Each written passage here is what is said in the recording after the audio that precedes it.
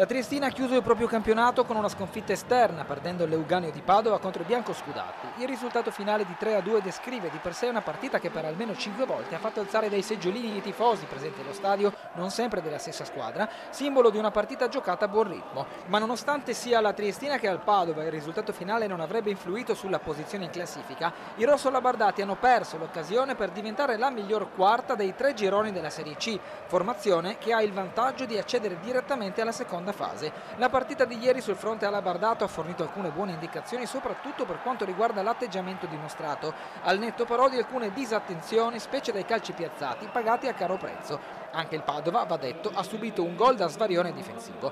La formazione scelta da Bordini è stata dettata da alcune assenze per infortuni o per la presenza di alcuni diffidati.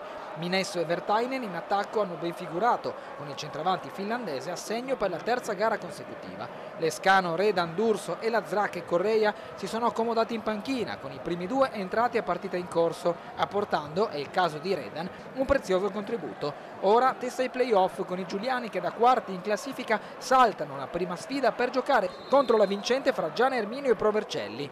È noto come il cammino dei playoff sia molto complicato per partite ravvicinate e gare a eliminazione diretta nella prima fase ed andata e ritorno a partire dal turno nazionale. Ecco perché arrivare all'appuntamento degli spareggi con l'organico e buona forma sia fisica che mentale rappresenti una necessità per ogni club. Mister Bordin dal punto di vista tattico sembra aver trovato il giusto equilibrio con la difesa 3, ieri inedita con Ciofani, Rizzo e Anzolin, ma presto nuovamente arricchita dal rientro di Struna. Qualche perplessità invece per Malomo acciaccato. Fra centrocampo, corsie laterali e attacco infine, il mister potrà contare su tutti gli elementi a sua disposizione.